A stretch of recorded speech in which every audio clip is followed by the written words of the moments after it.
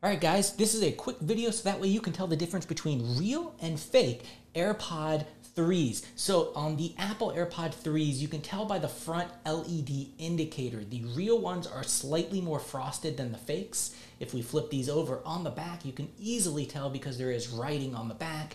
And then if you open the case, uh, there is writing up in the top of the real ones. That's way you will know which case is real or fake. Now on the AirPods themselves, there is also writing that will indicate the reals from the fake. Now it's pretty crazy that I've had these clones for about five months now, and they are a one of one copy. But guys, this way you know what is real, what is fake. That way you don't wind up buying fake ones. If you like this video or I helped you in any way, smash that thumbs up. If you haven't already, subscribe and make sure you hit the bell. That way you get notified of my next video.